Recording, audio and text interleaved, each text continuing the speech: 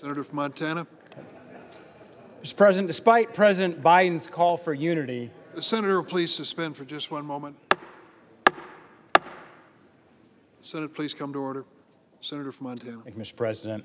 Despite President Biden's call for unity, with the stroke of a pen, he killed the Keystone XL pipeline and the thousands of jobs that come with it.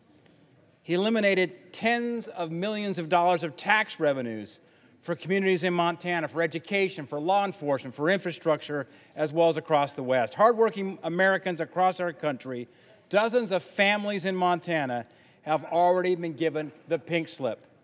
They were told to go home, their paycheck is gone. This isn't because of a pandemic, this is because of President Biden. I hope all of my colleagues join me today for the good of American energy and our blue collar workers, or they can stand with the job killing Green New Deal agenda. The choice is clear.